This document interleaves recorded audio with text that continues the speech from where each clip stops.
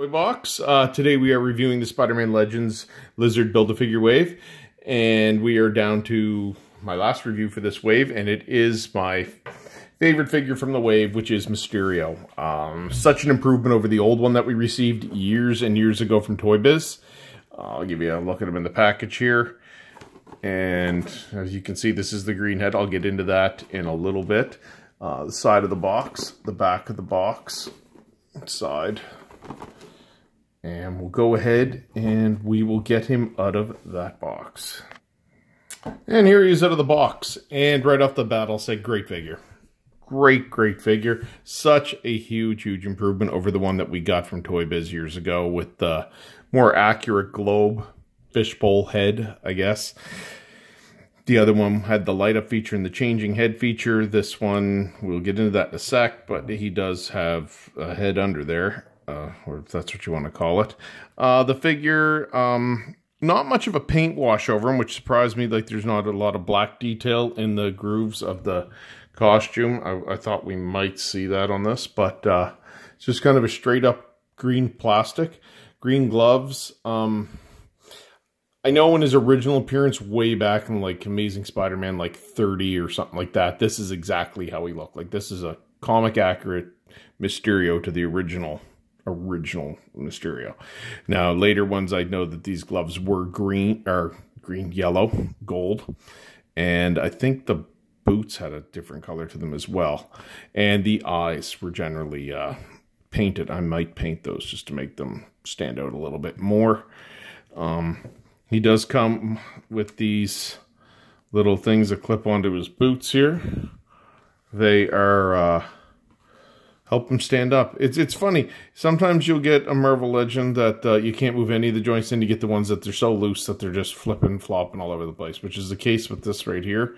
And it's so funny because my old Mysterio was really like a flimsy character I found.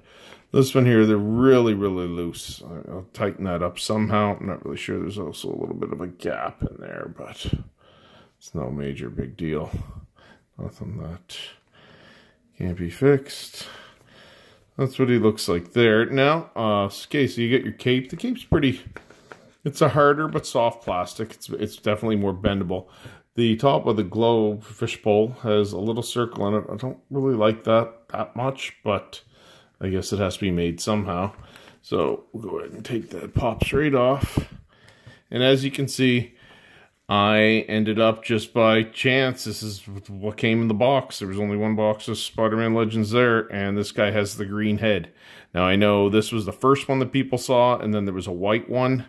Um, I've talked to people with Hasbro, and there really is no rhyme or reason to what you're going to get in the box. There's, I think the green head was the original one, and the white is the running change.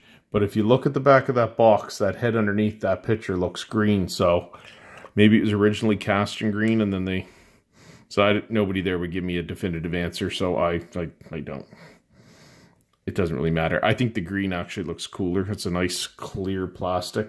It's a really weird looking head. I, uh, I don't know what's going on with Mysterio here, but like maybe he's a crazy looking creepy thing underneath. Anyway, as far as articulation with figure goes, I mean, obviously you have a calf swivel here that's out of control. And then you have um, ankle, normal one, knees, upper thigh, hips. Your waist is, oh, it's got, you can hear that, it's got a little click to it so he stays in place. And then you've got your wrist up and down the I don't think that moves, and it doesn't seem to want to, so I'm not going to risk it. Uh, upper bicep, an ab crunch, back, forward pretty far. The head looks back, but I mean, it probably doesn't look forward at all. That's it, but I mean, you'll have the dome on it most of the time anyway. It goes on, and now the peg goes in his back, but I find that the, the cape doesn't go down as far if you put the peg in, so that is really bugging me that that's that loose. That's really disappointing. All right. There you have it. Your look at Mysterio with the green head. underneath. Uh, happy hunting to find whichever one you want out there. It's, again, there's no, it's just pure chance that you're going to find one or the other. And this figure did come with the leg for Lizard. There we go. And we're going to assemble him now and get them all together. This is without a doubt the most in-demand figure of the entire wave. Everywhere you go, people are charging insane prices for this in the aftermarket, which I don't agree with. The scalpers are crazy. And it's one per box. So good luck finding him and Prowler, if that's what people are just looking for. All right, so if you like our video, please give us a thumbs up, give us a like, subscribe to our channel. And this is Big Puns Toy Box out.